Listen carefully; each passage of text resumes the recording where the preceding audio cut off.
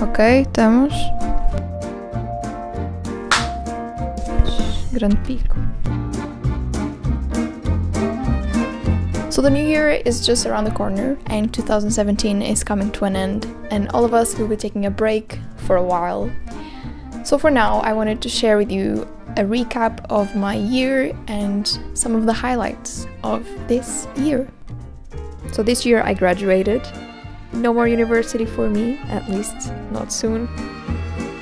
I also got a job, my first job, and so far so good. I got to travel to a few places Madrid, LA, London, and we'll be going to Belgium in a couple of days, so I should start packing.